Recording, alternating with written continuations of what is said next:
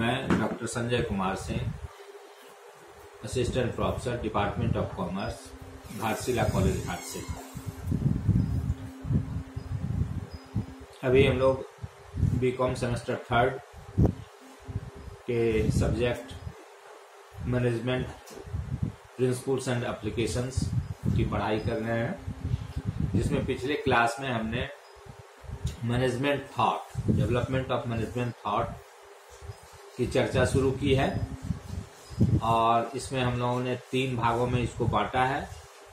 पहला classical approach जिसकी चर्चा अभी हम लोग कर रहे हैं, पिछले क्लास में भी हमने की है। दूसरा है न्यू क्लासिकल सिस्टम और तीसरा है मॉडर्न थॉट तो अभी हम लोग क्लासिकल अप्रोच की चर्चा कर रहे हैं, जिसमें हम लोगों ने पिछले क्लास में एफ़ डब्ल्यू टेलर द्वारा प्रतिपादित साइंटिफिक मैनेजमेंट की चर्चा की और इसी क्लासिकल अप्रोच में हेनरी फेल का भी नाम आता है, जिन्होंने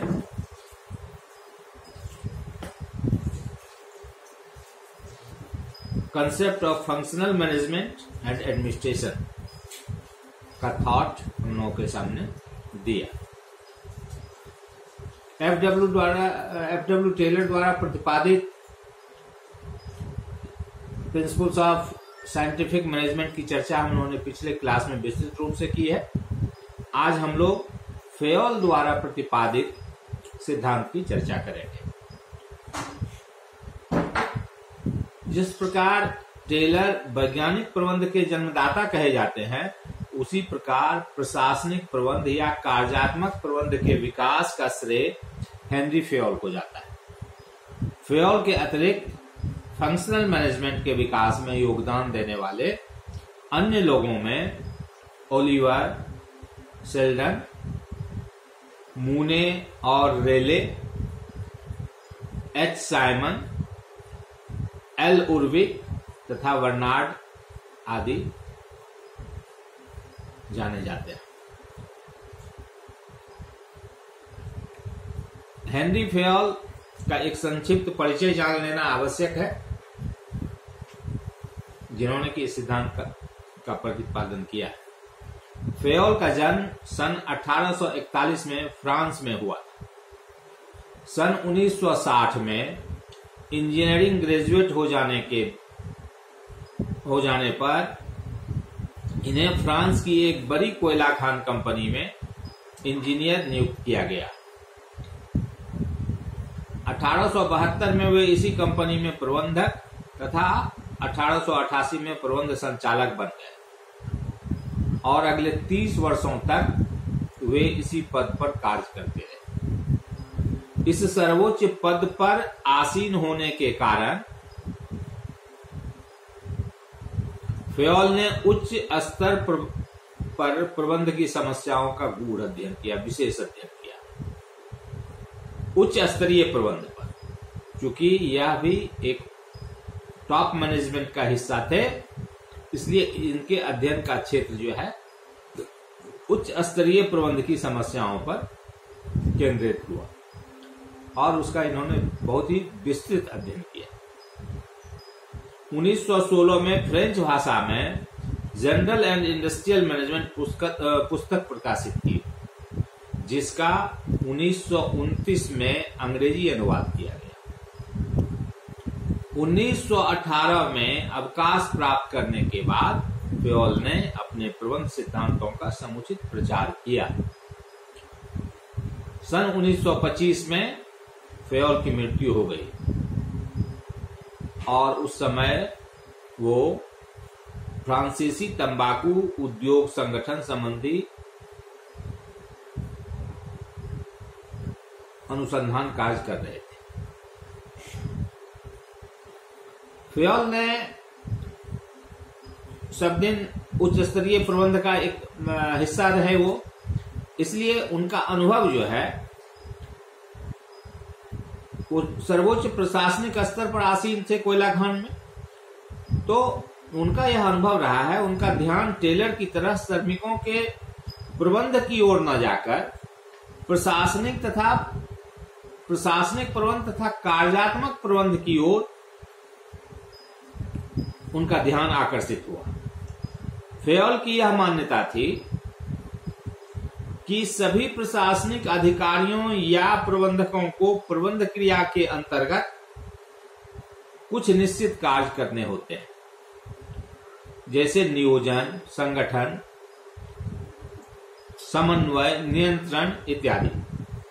और ये कार्य सभी प्रकार की संस्थाओं, कारखानाओं में, अस्पतालों में, विश्वविद्यालयों में, सेना में समान सिद्धांत के अंतर्गत किए जाते हैं। चूँकि सिद्धांत प्रबंधकीय क्षमता में सुधार लाते हैं, अतः प्रबंधकों को प्रबंध के इन सिद्धांतों का ज्ञान कराया जाना चाहिए।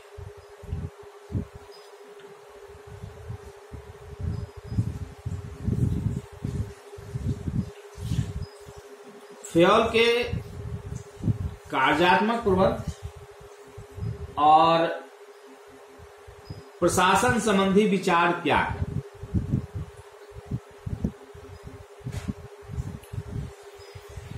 फ्योल ने अपने अनुभव के आधार पर यह स्थापित किया कि व्यावसायिक अथवा औद्योगिक संगठनों में समस्त कार्यों को छह भागों में बांटा जा सकता है। पहला टेक्निकल टेक्निकल मतलब उत्पादन से संबंधित। दूसरा, वाणिज्यिक कमर्शियल क्रय विक्रय से संबंधित। तीसरा, वित्तीय फाइनेंस पूंजी प्राप्त करना सोर्स तलाशना उसका फिर यूटिलाइज करना, उस पर नियंत्रण प्राप्त करना। सिक्योरिटी सुरक्षा। पांचवा, लेखाकर्म अकाउंटेंसी चिट्ठा तथा लागत लेखांकन इत्यादि कॉस्ट अकाउंटेंसी इत्यादि। और छठा, प्रशासन, जिसके अंतर्गत नियोजन, संगठन आदेश, समन्वय, नियंत्रण आदि आते हैं। फ्योल ने इस संबंध में आगे स्पष्ट किया। फ्योल ने इस संबंध में आगे स्पष्ट किया कि इनमें से प्रथम पाँच कार्य, टेक्निकल, फाइनेंशियल,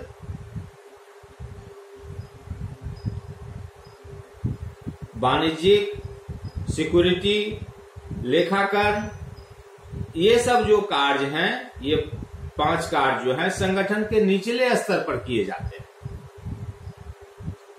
अर्थात निम्न या मध्य स्तरीय प्रबंध से संबंध रखते हैं।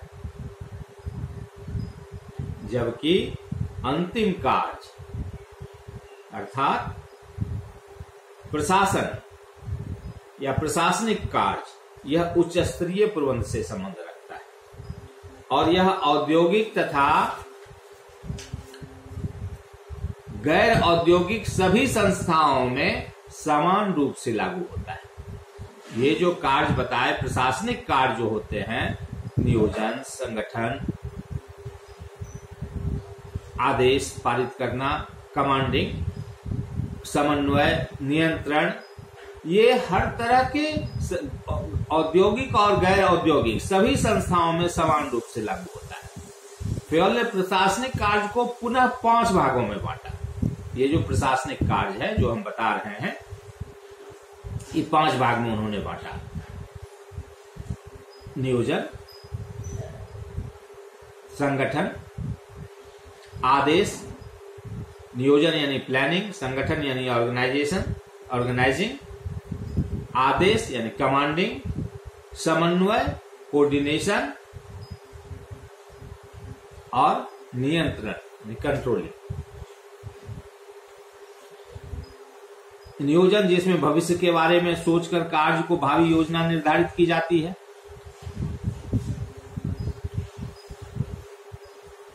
संगठन जो संस्था की भौतिक तथा मानवीय संरचना से संबंध रखता है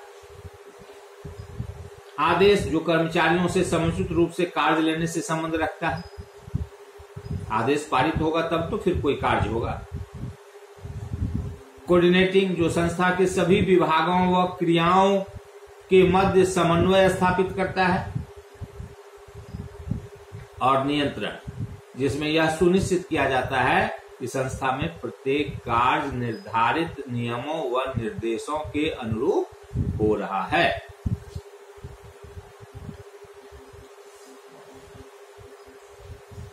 अब सवाल उठता है कि इन्होंने क्या क्या सिद्धांत प्रतिपादित किया?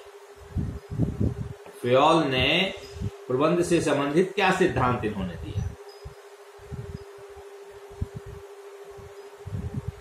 फ्योल ने अपने अनुभव के आधार पर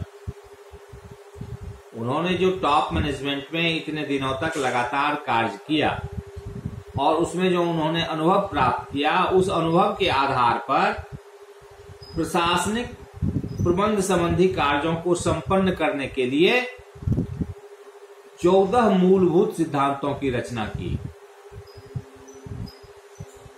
जो प्रबंधकों को आवश्यक निर्देश प्रदान करते हैं। उन्होंने चौदह सिद्धांतों को प्रतिपादित किया, जो कि प्रबंधकों को आवश्यक दिशा निर्देश प्रदान करते हैं। अर्थात प्रबंधक इन सिद्धांतों के आधार पर प्रबंध कार्य सुचारू रूप से चलाने में सक्षम हो पाते हैं। पहला सिद्धांत उन्होंने दिया, श्रम विभाजन का सिद्धांत। फेयोल का कहना है कि श्रम विभाजन के अंतर्गत एक श्रमिक को बार बार एक ही कार्य करना पड़ता है तथा एक प्रबंधक को एक ही प्रकार के मामलों को देखना पड़ता है। तो उनकी कार्य संबंधी योग्यता, निश्चितता तथा शुद्धता में वृद्धि हो जाती है, जिससे उत्पादन क्षमता बढ़ती है। श्रम विभाजन का सिद्धांत तकनीकी और प्रबंधकीय दोनों क्षेत्रों में लागू किया जा सकता है। अर्थात श्रम विभाजन। श्रम विभाजन का मतलब? श्रमिकों को, के समूह को,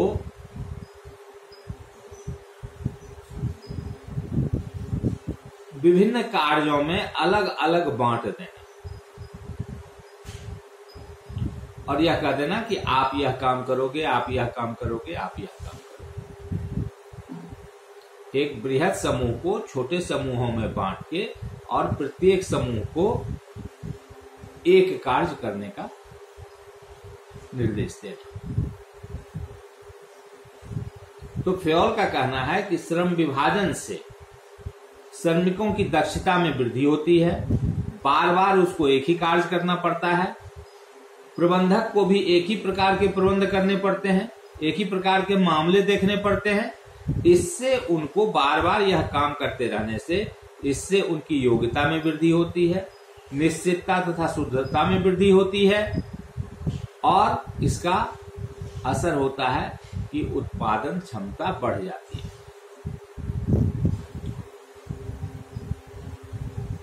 दूसरा सिद्धांत है अधिकार तथा दायित्व का सिद्धांत। यह आदेश देने और लोगों से आदेश का पालन करवाने की शक्ति से संबंध रखता है। इस सिद्धांत के अनुसार अधिकार उत्तरदायित्व के अनुरूप होने चाहिए, ताकि कार्य करने वाले को पुरस्कृत किया जा सके और कार्य की अवहेलना करने वाले को दंड दिया जा सके।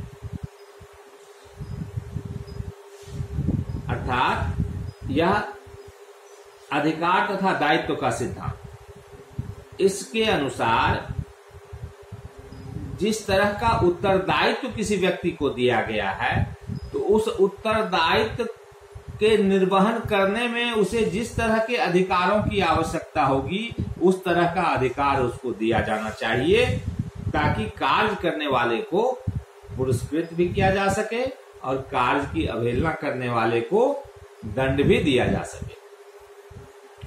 तीसरा है अनुशासन का सिद्धांत।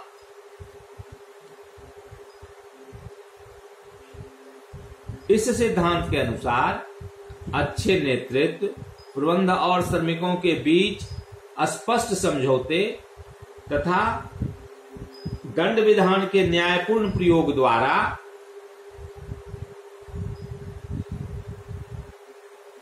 एक ही संस्था में अनुशासन कायम रखा जा सकता है। के द्वारा ही एक संस्था में अनुशासन कायम रखा जा सकता है, जो संस्था की प्रगति के लिए आवश्यक है। मतलब अच्छा नेतृत्व, प्रबंध और श्रमिकों के बीच स्पष्ट जो समझौता है तथा दंड विधान के न्यायपूर्ण प्रयोग, जो दंड का विधान हमारे यहाँ है, उसका अन्यायपूर्ण प्रयोग नहीं, उसका न्यायपूर्ण प्रयोग जब हम करेंगे, तभी जो है, एक संस्था में अनुशासन कायम रख सकता है या रखा जा सकता है, जो संस्था के प्रगति के लिए आवश्यक है। बिना अनुशासन के किसी लक्ष्य को प्राप्त करना यह संभव बात नहीं है।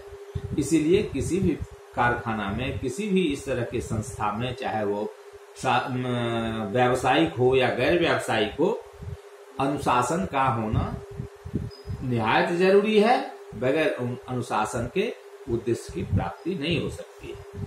इसलिए फेयोल ने अनुशासन का सिद्धांत दिया।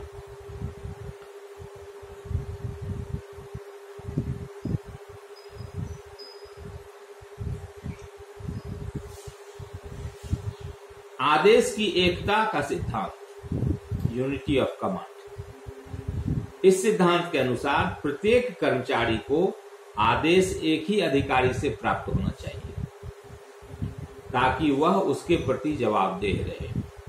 दोहरे शासन प्रबंध में अनुशासन भंग होने का खतरा रहता है, भय रहता है।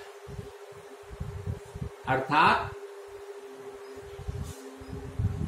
प्रत्येक कर्मचारी को आदेश एक ही व्यक्ति या एक ही अधिकारी से होना चाहिए। यह नहीं कि अलग अलग अधिकारी अपना अलग अलग आदेश पारित कर रहा है। मजदूर काम कर रहा है। पदाधिकारी ए ने कहा कि इस तरह से करो। पदाधिकारी बी ने कहा नहीं, इस तरह से करो। पदाधिकारी सी ने कहा कि नहीं, इस तरह से करो। तो मजदूर किसके आदेश का पालन करे?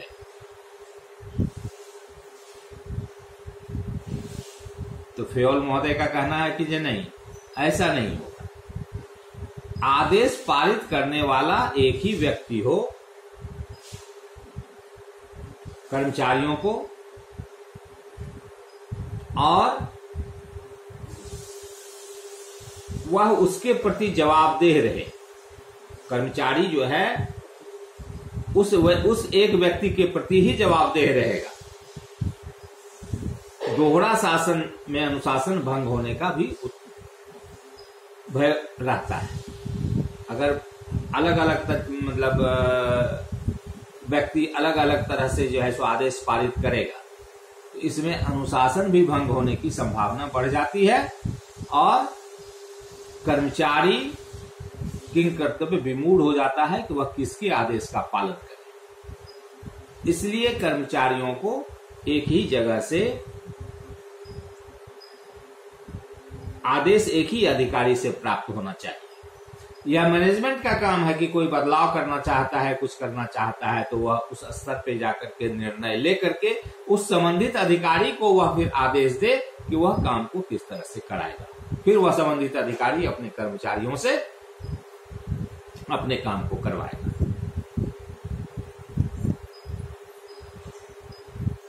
इसका उदाहरण आज के प्रशासनिक व्यवस्था में भी हमको देखने को मिलती है। अगर हमको किसी दूसरे डिपार्टमेंट चीफ मिनिस्टर को अगर किसी दूसरे डिपार्टमेंट से को कोई आदेश पारित करना है तो वह डायरेक्ट वह उस कर्मचारी को नहीं करता उस, उस विभाग के कर्मचारी को नहीं करता है उस विभाग के मंत्री को करता है। मंत्री जो है सो फिर सेक्रेटरी को करता है सेक्रेटरी जो है सो फिर अपने अधीनस्थ को करता है। और इस तरह से वो आते आते अगर वीडियो साहब के पास कोई आदेश पारित होकर के आना है तो वह सीधे मुख्यमंत्री जो है सो उसको आदेश नहीं करे वीडियो के जो संबंधित पदाधिकारी हैं, निर्देश देने वाले हैं डीसी महोदय, वहाँ तक वह आदेश जो है सो अपने क्रम से आएगा और डीएम महोदय फिर उस आदेश का पालन करवाएँगे। एक डीएम को किसी थाने, थानेदार को कोई आदेश देना है तो डीएम डायरेक्ट उस थानेदार को आदेश नहीं दे सकता है। डीएम, डीसी जो है, पहले एसपी को बताएँगे और एसपी जो है उस निर्णय के अनुकूल फिर अपने थानेदार को आदेश करेंगे। तो वही चीज़ फ्योल के अनुशासन सिद्धांत। आदेश की एकता के सिद्धांत कहा गया है? निर्देश की एकता का सिद्धांत। आदेश के बाद निर्देश की एकता यूनिटी ऑफ़ डायरेक्शन इस सिद्धांत के अनुसार समान उद्देश्य वाले एक से कार्यों के लिए एक योजना और एक प्रबंधक होना चाहिए। अर्थात सामान्य लक्ष्य की प्राप्ति हेतु किसी एक व्यक्ति के निर्देशन व नेतृत्व में निश्चित योजना के अनुसार प्रयास करने से ही सफलता प्राप्त हो सकती है। अर्थात, एक समान उद्देश्य वाले एक से कार्यों के लिए एक योजना और एक प्रबंधक होना चाहिए, जिससे कि समान लक्ष्य की प्राप्ति हेतु किसी एक व्यक्ति के निर्देशन व नेतृत्व में निश्चित योजना के अनुसार प्रयास करने से सफलता प्राप्त हो सकती है। छठा है, व्यक्तिगत हितों को सामुदायिक हितों के लिए समर्पित करने का सिद्धांत। व्यक्तिगत हित को सामूहिक हित के लिए समर्पित करने का सिद्धांत सेक्रीफाइस करने का सिद्धांत। इस सिद्धांत के अनुसार, बड़े उपक्रमों में व्यक्तिगत तथा सामूहिक संघर्षों को रोकने के लिए, सामूहिक संघर्षों को रोकने के लिए मतलब सामुदायिक हितों की या सामूहिक हितों की रक्षा की जाए। चाहे इसके लिए व्यक्तिगत हितों का बलिदान ही क्यों ना देना पड़े? जैसे कभी कभी होता है ना, जैसे अभी जो देश में हो रहा है, कि राष्ट्र हित के लिए नागरिक हित का बलिदान किया जा सकता है। अभी कोरोना का समय है, महामारी फैली हुई है। तो सामूहिक हित को बचाने के लिए अभी व्यक्तिगत हितों का बलिदान किया जा रहा है। राष्ट्र हित को देखते हुए ये लॉकडाउन क्वारंटाइन आइसोलेशन में पकड़ के लोगों को रखा जा रहा है। सोसाइटी को बचाने का प्रयास किया जा रहा है। तो ये सामूहिक हित को ध्यान में रखते हुए व्यक्तिगत हितों का बलिदान किया जा सकता है और करने का सिद्धांत होना चाहिए। कर्मचारियों के पारिश्रमिक का सिद्धांत। फ्योल का मत था कि कर्मचारियों को दिए जाने वाले पारिश्रमिक की पद्धति ऐसी होनी चाहिए जो कर्मचारियों के विकास में सहयोग दे तथा उन्हें कार्य के उच्च गुणात्मक स्तर को बनाए रखने के लिए प्रेरित करे। कर्मचारी को जो आपके यहाँ श्रमिक हैं, काम करने वाले हैं, कर्मचारी काम करने वाले हैं, उसको क्या चाहिए? उचित मजदूरी? तो वह मजदूरी जो हम उसको देते हैं, वह पद्धति ऐसी होनी चाहिए, इनका कहना है, जो कर्मचारियों के विकास में सहयोग दे। वह उसको हर तरह से विकसित करे, उसमें उसका सहयोग होना चाहिए, वह मजदूरी इतनी पर्याप्त होनी चाहिए कि कर्मचारियों के विकास में सहयोग दे तथा उन्हें कार्य के, वह इतना प्रोत्साहित हो, इतना प्रेरित हो अपने मजदूरी से, जो कार्य का जो गुणात्मक स्तर है, उसकी जो क्वालिटी है, उसको बनाए रखने के लिए वह खुद ब खुद प्रेरित हो। यानी उसमें असंतोष की भावना न हो, वह संतुष्ट हो। तभी वह डिवोटी हो सकता है, तभी वह समर्पित हो सकता है संस्था के प्रति। तो कर्मचारियों का समर्पण संस्था के प्रति बने, इसके लिए मजदूरी की पद्धति, पारिश्रमिक भुगतान की पद्धति ऐसी होनी चाहिए, जो कर्मचारियों को इस चीज़ के लिए प्रेरित करे, कर्मचारी का खुद का भी विकास करे, तभी वह इन सब कामों के लिए प्रेरित होगा। आठवां, केंद्रीकरण का सिद्धांत। फ्योल महोदय के अनुसार, कोई भी वस्तु या निर्णय, वस्तु या निर्णय जो श्रमिकों की भूमिका या महत्व में वृद्धि करता है, विकेंद्रीकरण है। कोई भी वस्तु या निर्णय जो श्रमिकों की भूमिका या महत्व में वृद्धि करता है, वह केंद्रीकरण है। और जो कमी करता है, वह केंद्रीकरण श्रमिकों की भूमिका और उसका जो महत्व है। एक संस्था या विभाग में सत्ता का केंद्रीकरण किस सीमा तक हो, किस सीमा तक हो,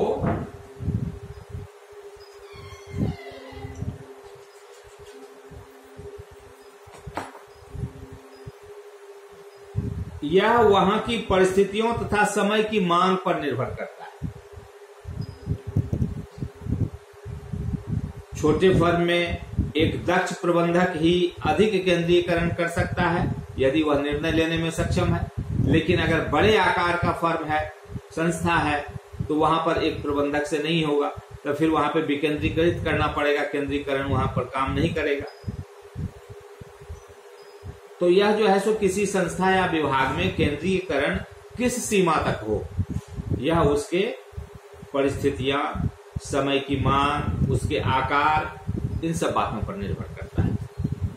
उसके बाद है स्कॉलर चेन स्केलर चेन उच्चतम प्रबंध से न्यूनतम पदों तक की श्रृंखला टॉप से लेके नीचे तक की जो ये पद की श्रृंखला है वह उसको हम लोग स्कॉलर चेन के नाम से जानते हैं। जिसमें आदेश ऊपर से नीचे की ओर एक क्रम में चलता है या चलना चाहिए। परंतु मतलब ऊपर से नीचे टॉप मैनेजमेंट से लेकर के मिडिल मैनेजमेंट मिडिल मैनेजमेंट से फिर लोअर मैनेजमेंट की ओर, वह आदेश ऊपर से लेकर के नीचे की ओर चलता है। किंतु, आवश्यकता पड़ने पर तथा शीघ्र निर्णय लेने के लिए फ्योल महोदय कहते हैं कि कभी कभी इस क्रम को तोड़ा भी जा सकता है। वह तो सामान्य प्रक्रिया में ऊपर से नीचे की ओर वो निर्णय आदेश के रूप में आ रहा है।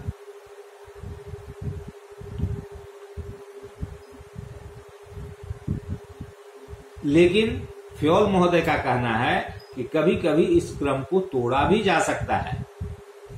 फ्योल ने इसे पुल, bridge B R I D G bridge या गैंग फ्लैन गैंग प्लान का नाम दिया है। पी एल ए एन के प्लान का नाम दिया है। अब सपोज़ करो मान लिया जाए कि मैनेजमेंट डिपार्टमेंट अपने यहाँ यूनिवर्सिटी में कॉलेज में ये है कि मैनेजमेंट डिपार्टमेंट या कॉमर्स डिपार्टमेंट के हेड जो हैं, अध्यक्ष जो हैं, वह राजनीति विभाग के अध्यक्ष के साथ मिलकर या किसी दूसरे डिपार्टमेंट के हेड के साथ मिलकर के कोई पाठ्यक्रम, नया पाठ्यक्रम चलाना चाहते हैं, कोई सेमिनार करना चाहते हैं, कोई वर्कशॉप करना चाहते हैं। तो वह स्कॉलर चेन को तोड़कर सीधे भी बात कर सकता है।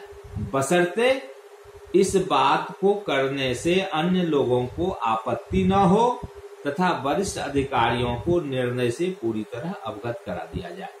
यानी फेयोल का कहना यह है कि यह जो स्कलर चेन है, जो ऊपर से नीचे की ओर आदेश पारित होता है, उसका फ्लो जो है सो ऊपर से नीचे की ओर होता है। और स्टेप वाइज होता है, टॉप मैनेजमेंट से मिडिल मैनेजमेंट मिडिल मैनेजमेंट से विभिन्न रास्ते से होते हुए लोअर मैनेजमेंट की ओर आता है। तो फेयोल का कहना है कि कभी कभी इसको हम तोड़ सकते हैं, अगर शीघ्र निर्णय की आवश्यकता, लेने की आवश्यकता है। या कुछ उस तरह का काम हम करने जा रहे हैं तो इस निर्णय को हम तोड़ सकते हैं, जो कि उच्च मैनेजमेंट को इन्वॉल्व करने की उसमें, जिसमें बहुत आवश्यकता नहीं है। किंतु उच्च मैनेजमेंट को इसकी सूचना देनी चाहिए और हमको इस बीच में मिडिल मैनेजमेंट में, जहाँ पर जिस लेवल से हमको काम लेना है डायरेक्ट हम उससे मिल करके, योजना बना करके उस काम को कर सकते हैं। बसरते इस तरह के काम से किसी को कोई एतराज़ होने वाला ना हो। उसके बाद है व्यवस्था का सिद्धांत। फेयर के अनुसार एक संस्था को सुचारू रूप से चलाने के लिए वहाँ वस्तुओं तथा कर्मचारियों की नियोजित तथा विवेकपूर्ण व्यवस्था होनी चाहिए। कच्चा माल व निर्मित माल उचित स्थान पर व्यवस्थित ढंग से लगा होना चाहिए तथा प्रत्येक कर्मचारी को उसकी योग्यता व रुचि के अनुसार पद व कार्य मिलना चाहिए। अर्थात प्रत्येक के लिए उपयुक्त स्थान तथा प्रत्येक उपयुक्त स्थान में।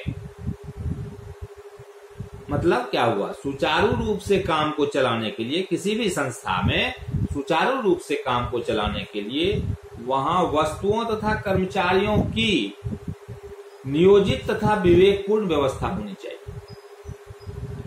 कच्चा माल, निर्मित माल सभी उचित स्थान पर व्यवस्थित ढंग से लगा होना चाहिए।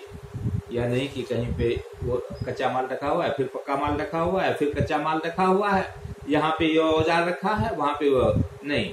वो उसकी एक व्यवस्था होनी चाहिए कि जहाँ पे जो औज़ार रहना है, वो औज़ार वहाँ पर रहे। जहाँ पे कच्चा माल रहना है, वहाँ पे कच्चा माल रहे। जहाँ पे तैयार माल रहना है, वहाँ पे तैयार माल रहे। ये जो व्यवस्था का जो सिद्धांत उन्होंने दिया है, उसमें यही है कि यह एक व्यवस्था के अंतर्गत रखा जाना चाहिए और सबों को जो वहाँ पे काम करने वाले हैं, उसको इस व्यवस्था की जानकारी होनी चाहिए कि जिससे जिसको जिस चीज़ की ज़रूरत हो, प्रत्येक कर्मचारी को उसकी योग्यता व अभिरुचि के अनुसार पद व कार्य मिलना चाहिए। जिस कर्मचारी की जिस चीज़ में अभिरुचि है, उसकी जो योग्यता है, योग्यता के साथ साथ उसकी रुचि, जिस तरह के के काम को करने में है, उस हिसाब से उसको पद और कार्य मिलना चाहिए। ग्यारहवा, समता का सिद्धांत। इक्विटी थ्योरी ऑफ़ इक्विटी समता से आशय प्रबंधकों की ओर से कर्मचारियों के प्रति प्रदर्शित दयालुता मैत्रीभाव न्यायपूर्ण व्यवहार से है। जो कर्मचारियों को संस्था या संगठन के प्रति पूर्ण निष्ठावान बनाता है। ये जो हमारा प्रबंधक जो है टॉप लेवल के जो प्रबंधक हैं, उसके बाद मिडिल लेवल के जो प्रबंधक हैं, उनकी ओर से कर्मचारियों के प्रति जो दिखाई जाने वाली भावनाएँ हैं, उसमें दयालुता का भाव होना चाहिए, उसमें मैत्री भाव फ्रेंडशिप का भाव होना चाहिए काइंडनेस होना चाहिए फ्रेंडशिप होना चाहिए, और न्यायपूर्ण व्यवहार होना चाहिए। किसी के साथ अन्याय नहीं होना चाहिए। जो कर्मचारी, संस्था या संगठन के प्रति पूर्ण निष्ठावान, इस तरह का चीज़ जो है, कर्मचारियों को संस्था के प्रति समर्पित और पूर्ण निष्ठावान बनाता है। यद्यपि कभी कभी फ्योल के अनुसार समता स्थापित करने के लिए प्रबंधकों को कुछ कर्मचारियों के साथ कठोर व्यवहार भी करना पड़ सकता है। कुछ एक ऐसे लोग भी होते हैं जो जो ये दयालुता, फ्रेंडशिप और न्यायोचित, न्यायपूर्ण व्यवहार को सामने वाले की कमज़ोरी समझने लगते हैं। तो ऐसे व्यक्तियों को रास्ते पर लाने के लिए कभी कभी प्रबंधक को उस खास व्यक्ति के साथ कठोरता का व्यवहार भी करना पड़ सकता है। ऐसी स्थिति में करना चाहिए। बारहवा है अस्थायित्व का सिद्धांत स्टेबिलिटी थ्योरी फ्योल के अनुसार सभी कर्मचारियों और विशेषकर प्रबंधकीय कर्मचारियों की बार बार अदला बदली संस्था के हित में नहीं रहती। ट्रांसफ़र करके यहाँ से वहाँ कर दिए, वहाँ से वहाँ कर दिए। तो जो कर्मचारी लेवल पर अगर आप ट्रांसफ़र करते हैं तो कर्मचारी की जो महारत जिस चीज़ में है, उसको हटा करके हम वहाँ दूसरे से, एक तरफ़ तो अवसर विभाजन की बात कर रहे हैं, एक्सपर्टाइजेशन की बात कर रहे हैं। दूसरे तरफ़ अगर आप ट्रांसफ़र करते रहते हैं, पद का ट्रांसफ़र करते रहते हैं, जगह का ट्रांसफ़र करते रहते हैं। तो कर्मचारी हो या प्रबंधक, उसकी जो विशेषताएँ हैं, उसकी उसकी, उसको जो महारत हासिल है उस चीज़ में, उसका पूर्ण उपयोग नहीं हो पाएगा, दूसरे जगह पर वह जाएगा, फिर उसको कुछ दिन वहाँ उस चीज़ को सीखने में लगेगा। और इस तरह से हर जगह पे, हर पॉइंट पे जो अगर जब ही हम ट्रांसफ़र करेंगे तो ट्रांसफ़र कब होगा? जब कम से कम दो व्यक्ति का ट्रांसफ़र होगा, एक को यहाँ से वहाँ ले जाएँगे और उसके जगह पर उसको वहाँ से यहाँ लाएँगे। तो ये जो चीज़ें हैं, यह कह रहा है कि इस तरह से करने से यह संस्था के हित में नहीं होता है। उन्होंने तो यहाँ तक कहा है कि संस्था को शीघ्र ही छोड़कर चले जाने वाले उत्तम कोटि के प्रबंधक की तुलना में अस्थायी रूप से टिके रहने वाले मध्यम कोटि के प्रबंधक की नियुक्ति संस्था के लिए अधिक हितकर सिद्ध होती है। जो बार बार अभी जो देखते हैं कि बहुत टॉप लेवल के मैनेजमेंट में। आज इस कंपनी ने जो है सो ज़्यादा पैसा दिया, वह छोड़ करके चला गया। फिर दूसरे को बहाल करना पड़ा।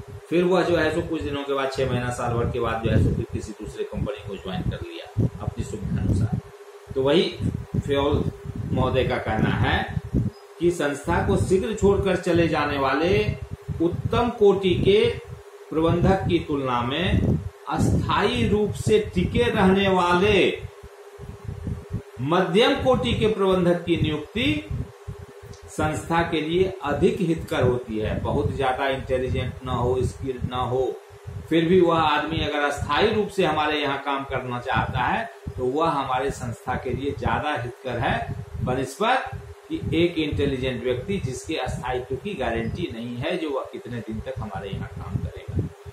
इसलिए जिसमें अस्थायित्व नहीं है, उसमें डिवोशन नहीं होगा, समर्पण नहीं होगा। भले ही वह काफ़ी तीक्ष्ण बुद्धि का है, काफ़ी इंटेलिजेंट है, लेकिन वह हमारे यहाँ टिक ही नहीं पाएगा। वह उसका उसका हमेशा ध्यान जो है सो छोड़ करके जाने में है। तो उसके उस इंटेलिजेंसी की, तीक्ष्ण बुद्धि की हमको पूरा पूरा जो है सो उसका उपयोग नहीं मिल पाएगा। उससे बेहतर है कि मध्यम कोटि के प्रबंधक की नियुक्ति कीजिए जो आपकी संस्था में टिके रहने के लिए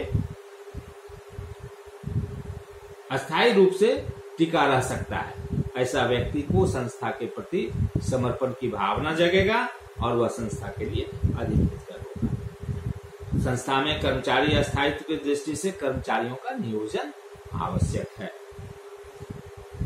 और टिके रहे हमारे यहाँ, इसके लिए संस्था का भी दायित्व तो बनता है कि वह उस तरह से व्यवहार करे अपने कर्मचारियों से, अपने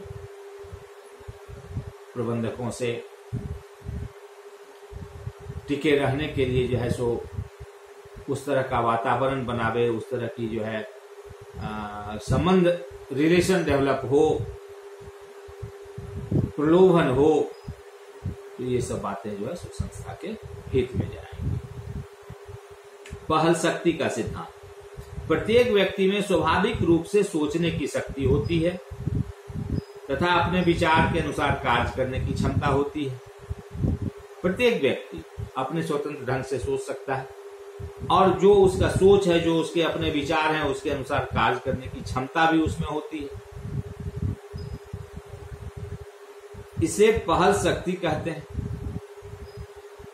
यह संस्था के हित में है कि प्रबंधकों तथा अन्य कर्मचारियों को विचार तथा विचारों के क्रियान्वयन की स्वतंत्रता प्रदान कर उनकी पहल शक्ति को प्रोत्साहित किया जाए। और महोदय का कहना है कि अगर किसी व्यक्ति में कोई पहल शक्ति है इनिशिएटिव वह ले सकता है तो उसके इस पहल शक्ति को प्रोत्साहित करना चाहिए। कारण उसके पास अपने विचार हैं वह स्वतंत्र ढंग से सोच सकता है और उस विचार के अनुरूप वह काम कर सकता है। तो ऐसे व्यक्ति को पहल करने के लिए, पहल करने की स्वतंत्रता दी जाए, प्रोत्साहन दिया जाए। और चौथा सॉरी चौदहवा, एकता की भावना का सिद्धांत। Spirit de crops corps Fayol के अनुसार प्रशासनिक प्रबंध ऐसा होना चाहिए जो समस्त कर्मचारियों में एकता की भावना, टीम स्पिरिट तथा संस्था के प्रति वफादारी पैदा करे। संस्था के प्रति वह लॉयल बन सके। इस संबंध में उन्होंने कहा कि प्रबंधकों को निम्न दो बातों पर ध्यान रखने का परामर्श दिया है उन्होंने। प्रबंधक को दो बातों पर ध्यान रखने का उन्होंने जो है परामर्श दिया है। पहला, उन्हें विभाजित करो और शासन करो की नीति का लेस मात्र भी अनुसरण नहीं करना चाहिए। डिवाइड एंड रूल की जो पॉलिसी है, इसका कभी अनुसरण नहीं करना चाहिए। आपकी संस्था में इसका विपरीत प्रतिकूल प्रभाव पड़ेगा। अनुकूल प्रभाव नहीं पड़ेगा, विपरीत प्रभाव पड़ेगा, प्रतिकूल प्रभाव पड़ेगा। और द्वितीय, गलत कार्य करने वाले कर्मचारियों से लिखित स्पष्टीकरण के बजाय मौखिक रूप से बात करके उन्हें सही मार्ग पर लाना चाहिए। अगर कोई कर्मचारी कोई गलती करता है तो आप उसे अकेले में बुला के, अपने चैम्बर में बुला के, उससे उनकी गलतियों को स्वीकार करवावें और सही मार्ग पर लाने का प्रयास करें। न कि उससे लिखित स्पष्टीकरण मांग के उसके द्वारा किए गए गलतियों को सार्वजनिक करके उसे डिमोडलाइज करें। ऐसा करना संस्था के हित में नहीं होगा और वह कर्मचारी जो कल तक आपका वफादार था, आज भी है, उसको डिमोडलाइज करने से उसके उत्साह में कमी आएगी, संस्था के प्रति समर्पण में कमी आएगी और वह जितना लॉयल आज है संस्था के लिए कल हो सकता है कि उसमें उसको कमी आए, उसमें एक उदासीनता का भाव है ये चौदह सिद्धांत जो फ्योल महोदय के द्वारा दिए गए हैं, प्रत्येक प्रकार की संस्था के प्रबंध में लागू होते हैं। और प्रतिनिधि सिद्धांत के रूप में स्वीकार किए जाते हैं। अगर गौर से आप ये चौदह सिद्धांत का विश्लेषण कीजिएगा तो यह हर तरह के संस्था में, चाहे वो व्यावसायिक हो, गैर व्यावसायिक हो, सभी में समान रूप से लागू होता है और प्रतिनिधि सिद्धांत के रूप में स्वीकार किया जाता है। परंतु इनमें से किन सिद्धांतों को किस समय, किस परिस्थिति में सफलतापूर्वक प्रयुक्त किया जा सकता है, यह बहुत कुछ प्रबंधकों की कुशाग्रता, अनुभव व निर्णय शक्ति पर निर्भर करता है।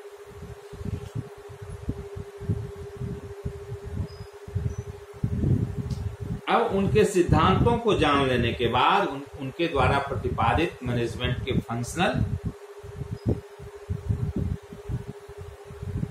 या एडमिनिस्ट्रेटिव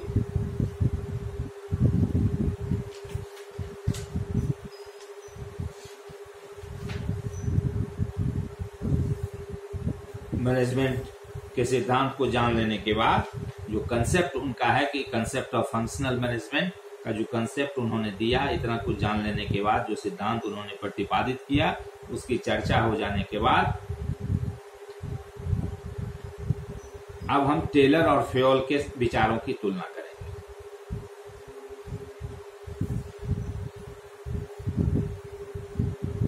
हालाँकि ये तुलना करने से पहले, फ्योल के सिद्धांत पे अगर एक नज़र हम डालते हैं तो हालाँकि इनका सिद्धांत काफ़ी पुराना पड़ चुका है। और बहुत सारे नवीन दृष्टिकोण व सिद्धांत जन्म ले चुके हैं प्रबंध के क्षेत्र में। तथापि, अभी भी प्रबंध विज्ञान के अध्ययन, अध्यापन और व्यवहार में फेयोल के सिद्धांत का महत्वपूर्ण प्रभाव है। आज भी विश्वविद्यालयों में अनुशासित अधिकांश प्रबंध पाठ्यक्रम फेयोल के कार्यात्मक प्रबंध फंक्शनल मैनेजमेंट के अनुरूप ही है और बहुत सारी कंपनियाँ फेयोल द्वारा प्रतिपादित प्रबंधकीय प्रक्रिया। मैनेजमेंट प्रोसेस और चौदह सिद्धांतों को व्यवहार में लाकर सफलता प्राप्त कर रही है। अब हम देखते हैं कि टेलर और फेयोल के विचारों की तुलना करके। टेलर तथा हेनरी फेयोल क्लासिकल प्रबंध शास्त्री माने जाते हैं। दोनों ही क्लासिकल प्रबंध शास्त्री माने जाते हैं। इन दोनों ने ही बीसवीं सदी के प्रारंभ से ही प्रबंध शास्त्र के विकास में महान योगदान दिया है। अपना अपना कंट्रीब्यूशन दिया है। अठारहवीं शताब्दी के अंत में, अंतिम भाग में प्रारंभ हुई औद्योगिक क्रांति। अठारहवीं शताब्दी के उत्तरार्ध में, पूर्वार्ध में नहीं, उत्तरार्ध में औद्योगिक क्रांति 19वीं सदी के पूर्वार्ध तक विश्व के अधिकांश देशों में फैली। 18वीं शताब्दी के पूर्वार्ध में जो औद्योगिक उत्तरार्ध में जो औद्योगिक क्रांति हुई, वह 19वीं शताब्दी के पूर्वार्ध तक विश्व के अधिकांश देशों में फैल गई। इसके साथ ही कंपनी प्रारूप का विकास हुआ।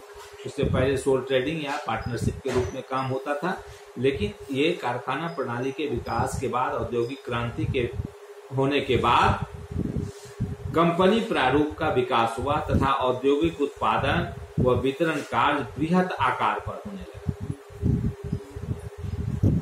फलस्वरूप, औद्योगिक राष्ट्रों में, प्रबंध के क्षेत्र में विशेषज्ञता तथा नवीनता की आवश्यकता हुई। वास्तव में, उन्नीसवीं सदी सदी के अंत तक प्रबंध का कोई संगठित ज्ञान संगठित ज्ञान उपलब्ध नहीं था। टेलर तथा फेयोल ने इस दिशा में अभूतपूर्ण काम किया। इनसे पहले के जितने भी थे, वो कोई संगठित ज्ञान नहीं था, उपलब्ध नहीं था। टेलर और फेयोल महोदय ही ने इस ज्ञान को संगठित रूप से संग्रहित करके सोसाइटी के सामने, समाज के सामने में लाया और उसके बाद से जो है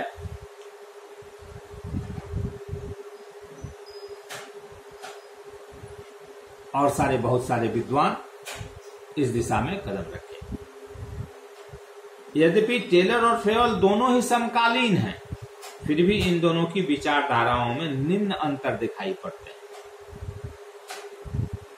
दोनों समकालीन है, लेकिन दोनों के विचारधारा में थोड़ा फ़र्क है।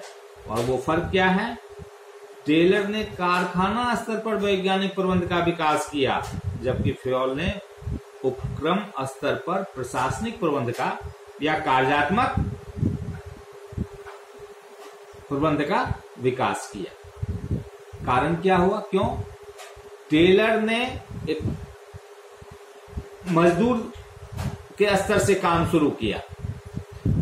लोअर मैनेजमेंट से काम शुरू किया और फेयल ने टॉप मैनेजमेंट से काम शुरू किया। तो दोनों की जो दक्षता अपने अपने क्षेत्र में थी, दोनों का जो अनुभव अपने अपने क्षेत्र में था, टेलर के पास लोअर मैनेजमेंट का अनुभव ज़्यादा था फेल के पास टॉप मैनेजमेंट का अनुभव ज़्यादा था। इसीलिए टेलर ने वैज्ञानिक प्रबंध का कारखाना स्तर पर वैज्ञानिक प्रबंध का विकास किया, जबकि फेल ने उपक्रम स्तर पर प्रशासनिक प्रबंध का विकास किया। दूसरा टेलर ने मूल रूप में श्रमिकों की उत्पादकता बढ़ाने को लक्ष्य बनाया, जबकि फेयल ने प्रशासनिक स्तर पर सुधार करके संपूर्ण उपक्रम की कार्य क्षमता बढ़ाने पर बल दिया। टेलर, चूँकि श्रमिकों की उत्पादकता को बढ़ाने का उसका लक्ष्य बना था, क्योंकि वह लोअर मैनेजमेंट में श्रमिकों के साथ काम कर रहा था तो वहाँ पे उसका जो अध्ययन हुआ, उस विश्लेषण के आधार पर उत्पादकता को बढ़ाने के लिए उसने श्रमिकों की उत्पादक, उत्पादन को बढ़ाने के लिए श्रमिकों की उत्पादकता तो को बढ़ाने का लक्ष्य बनाया। जबकि फेल टॉप मैनेजमेंट में थे तो इन्होंने प्रशासनिक स्तर पर सुधार करके संपूर्ण उपक्रम की उत्पादकता को बढ़ाने का प्रयास किया। या बढ़ाने पर बल दिया। तीसरा, टेलर के वैज्ञानिक प्रबंध का श्रमिकों द्वारा विरोध हुआ। जबकि फेल की विचारधारा का कोई विरोध नहीं हुआ। चूँकि टेलर ने वैज्ञानिक प्रबंध का जो प्रतिपादन किया, वह श्रमिकों की उत्पादकता को बढ़ाने के लिए था। श्रमिकों के काम करने की दशाओं का पूर्ण अध्ययन उन्होंने किया, उसका विश्लेषण किया टाइम स्टडी मोशन स्टडी थकान स्टडी ये सब चीज़ करके उन्होंने श्रमिकों को जितना, श्रमिक जितना काम पहले जितने निश्चित घंटे में करता था, उसकी उत्पादकता को बढ़ा के दोगुनी चौगुनी कर दिया।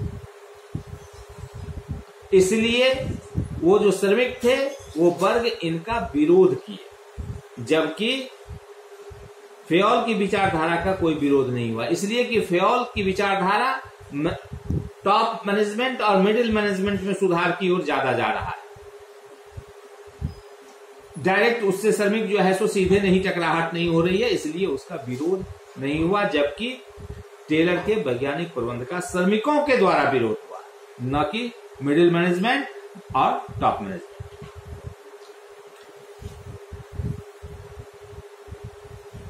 इन तुलनाओं को जानने के बाद भी हम यह कह सकते हैं कि टेलर और फेल एक दूसरे के पूरक थे। यदि टेलर और फेल के प्रबंध संबंधी विचारों की गहनता से अगर आप जाँच करेंगे तो पाएँगे कि टेलर और फेल के विचार एक दूसरे के विरोधी नहीं, बल्कि निम्न रूप में एक दूसरे के पूरक हैं। कैसे कैसे पूरक हैं? कैसे कंप्लीमेंट्री हैं एक दूसरे के? इन दोनों ने ही यह इंगित किया कि औद्योगिक क्रांति प्रगति के लिए कर्मचारियों का प्रबंध सर्वाधिक महत्वपूर्ण है। दोनों ही इस चीज़ को मानते हैं कि औद्योगिक प्रगति के लिए इंडस्ट्रियल डेवलपमेंट के लिए कर्मचारियों का प्रबंध सर्वाधिक महत्वपूर्ण है। दूसरा इन दोनों ने ही प्रबंधकीय विकास के लिए। वैज्ञानिक पद्धतियों तथा सिद्धांतों पर बल दिया। जैसे तैसे कर देना है या ट्रेडिशनल तरीके से कर देना है वो नहीं। इन्होंने वैज्ञानिक पद्धतियों तथा सिद्धांतों पर बल दिया। अंतर केवल इतना था टेलर ने कारखाने के धरा, धरातलीय स्तर पर काम किया। अर्थात श्रमिकों से कार्य प्रारंभ किया और संगठन के ऊपरी हिस्से की ओर बढ़े। नीचे से ऊपर की ओर बढ़े, जबकि फेल ने उपक्रम के शीर्ष प्रबंध से कार्य प्रारंभ कर संगठन के नीचे की ओर बढ़ना प्रारंभ किया। एक नीचे से ऊपर की ओर बढ़े, एक ऊपर से नीचे की ओर बढ़े। ऐसा इसलिए हुआ कि एक नीचे में, नीचे से अपना काम शुरू किए थे और दूसरा जो है सो ऊपर से अपना काम शुरू किए। तीसरा टेलर और फेल इस रूप में भी एक दूसरे के पूरक हैं कि इन दोनों के सिद्धांतों को लागू करके ही एक उपक्रम का विकास संभव है। अकेला एक को लागू करने से नहीं। जब तक दोनों के सिद्धांत को लागू नहीं करेगा, तब तक विकास संभव नहीं है।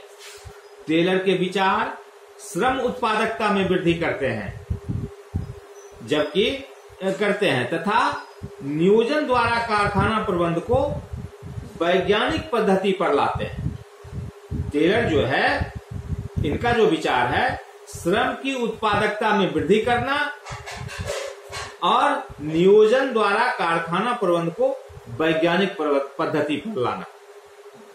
जबकि फ्योल, दूसरी ओर फ्योल के सिद्धांत, एक उपक्रम के सभी विभागों में समन्वय तथा नियंत्रण स्थापित करने में सहायक होते हैं। इस प्रकार दोनों के सिद्धांतों को लागू करके ही एक कंपनी की पूर्ण प्रगति संभव है। Thank you